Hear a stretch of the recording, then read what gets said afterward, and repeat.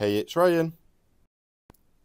Slugs have been a problem for most people this year, but here at Barton Grange we have you covered. Create a barrier to protect your plants with Vitax Slug Gone wool pellets. Slugs dislike the fibres in the wool, preventing them from eating your plants. Simply sprinkle around your plant and water in, perfect for use in your pots and borders. Another useful tool is copper tape. Place around the edge of your pots to prevent slugs nibbling on your plants.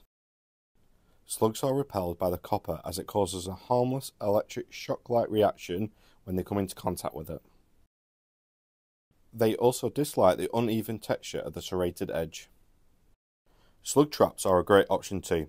Simply place them in your borders for an instant effect, adding beer as an incentive to attract slugs away from your plants.